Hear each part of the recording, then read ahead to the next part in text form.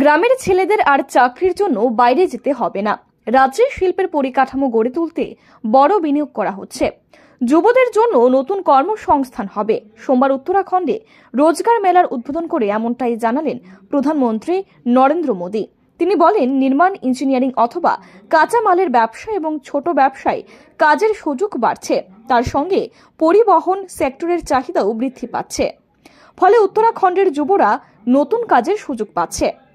প্রত্যন্ত অঞ্চলের বাসিন্দাদের জীবনযাত্রা যাতে সহজ হয় তার জন্য সরকার শিল্প ও কর্মসংস্থানের ক্ষেত্রে মোটা অঙ্কের টাকা বিনিয়োগ করছে केंद्र सरकार हो या फिर उत्तराखंड की भाजपा सरकार हमारा ये निरंतर प्रयास है कि हर युवा को उसकी रुचि के अनुसार योग्यता के अनुसार नए अवसर मिले सभी को आगे बढ़ने का उचित माध्यम मिले।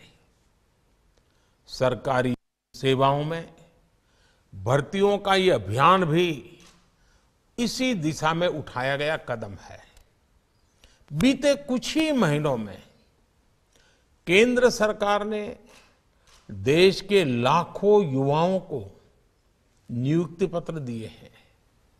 देश भर में जहां भी भाजपा सरकारें हैं केंद्र शासित प्रदेश हैं वहां भी बड़े स्तर पर इस प्रकार के अभियान चलाए जा रहे हैं मुझे खुशी है कि आज इसमें उत्तराखंड भी जुट रहा है साथियों এদিন মূলত ভার্চুয়ালি উত্তরাখণ্ড রোজগার মেলার উদ্বোধন করেন প্রধানমন্ত্রী নরেন্দ্র মোদী মেলার উদ্বোধন করে তিনি বলেন যুবরা যাতে ঘরের কাছে কাজের সুযোগ পায়, তার জন্য এই পাহাড়ি এলাকাতেও বড় মাত্রায় বিনিয়োগ করছে সরকার।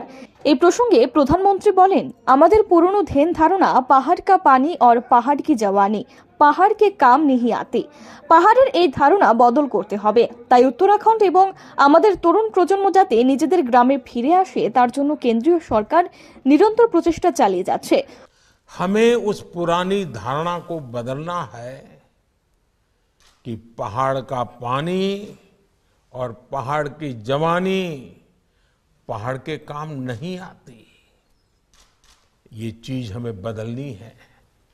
इसलिए केंद्र सरकार का निरंतर प्रयास रहा है कि उत्तराखंड के युवाओं और ये हमारी युवा पीढ़ी अपने गाँवों की तरफ़ लौटे। इसके लिए पहाड़ में रोज़गार और स्वरोजगार के नए अवसर बनाए जा रहे हैं। आज आप देखिए, इतनी सड़कें बन रही हैं, रेल लाइनें बिछ रही हैं। यानी उत्तराखंड में इंफ्रास्ट्रक्चर पर इतना निवेश हो रहा है। इससे दूर सुदूर गाँवों तक आना जाना तो आसान हो ही रहा है बड़ी संख्या में रोजगार भी बन रहे हैं প্রসঙ্গত গত বাইশে অক্টোবর প্রধানমন্ত্রী নরেন্দ্র মোদী প্রথম দফায় রোজগেলা মেলার সূচনা করেন যেখানে পঁচাত্তর হাজারের বেশি জনের হাতে নতুন নিয়োগপত্র তুলে দেওয়া হয় দশ লক্ষ চাকরি দেওয়ার লক্ষ্যমাত্রা নিয়ে এই মেলার সূচনা হয়েছিল। তারপর থেকে গুজরাট, জম্মু ও কাশ্মীর এবং মহারাষ্ট্র সহ বেশ কয়েকটি রাজ্যে একই রকম চাকরি মেলার কথা বলেছেন প্রধানমন্ত্রী। ব্যুরো রিপোর্ট, আর ই নিউজ।